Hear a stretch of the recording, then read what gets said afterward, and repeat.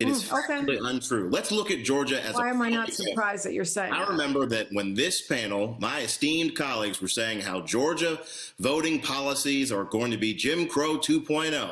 You had President Biden say that. You had Stacey stolen election Abrams say that. And now all of a sudden you have record numbers in Georgia.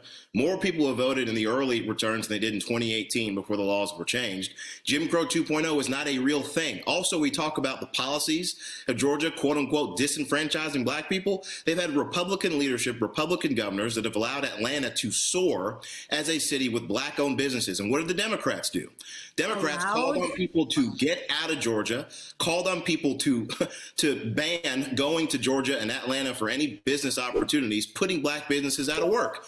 But yet, just because you are black and because you are a Republican, you're a quote unquote white supremacist. But if you vote for Democrats who say that the election was stolen, do you vote for no, Democrats, we're not. See how he did that? We're not the ones saying the election was stolen. Newsflash, OJ, don't try to pull a Trump Jedi mind trick on us. We're not the ones telling the big lie. That would be you. And the issue about Jim Crow 2.0, we'll see how the election plays out because that's election denial. That's overturning of free and fair elections. That's packing of these agencies and positions that decide whether or not we accept election results. And we were going to have to wait till November 9th for that. Hillary Clinton said the, forget that, that, that the turnout that you're talking about is accountability. Hold that thought, Dr. Oleka. Hold that thought, Dr. Oleka. Go ahead, Ed.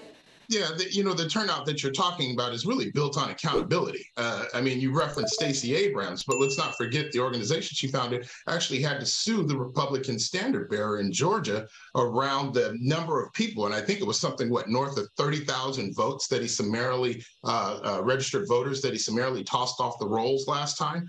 Uh, the standard bearer of the Republican Party in Georgia has, has repeatedly tried to disenfranchise African American voters in the state for his own political gain. And despite that, despite that, the Democrats have been able to elect two U.S. senators and expect to elect a governor this time. And this is what James Baldwin was talking about when he said, I'm not your Negro, but apparently uh, Herschel Walker is.